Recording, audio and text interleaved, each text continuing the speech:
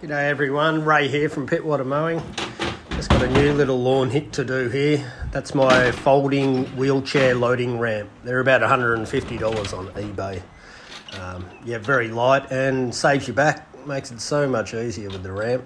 Um, yeah, just makes it easy. Gets that mower in and out. You know, just look how easy that is. Beautiful. This is a new little house here. Check out this car. It's actually been left here for over two years. It's a BMW 650i. It's just been parked up and left. Like, look at that cocoon on the tyre. It's in good condition, but it's just covered in, you know, just moss and whatnot. But yeah, it got parked up about two years ago. Anyway, here's the nice little rear lawn. Beautiful little job. Let's get into it.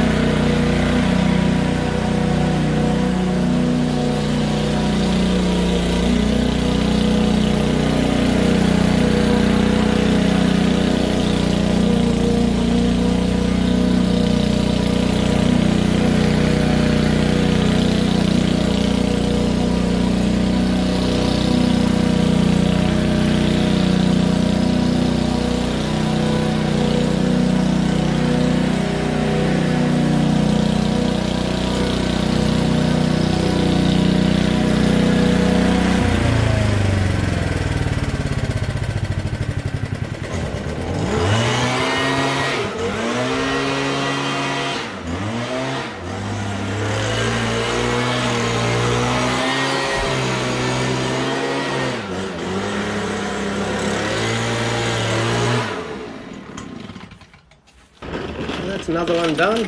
So uh, yeah, let's push it up the ramp. Pretty easy, nothing hard about that. Definitely saves your back. Yeah, everything just fits in the back of my ute. So the catcher sits on top of the mower there. Just fold the ramp up, that slips up the left hand side of the tub. Then we just fold the handle down on the Honda 216, push that all the way in.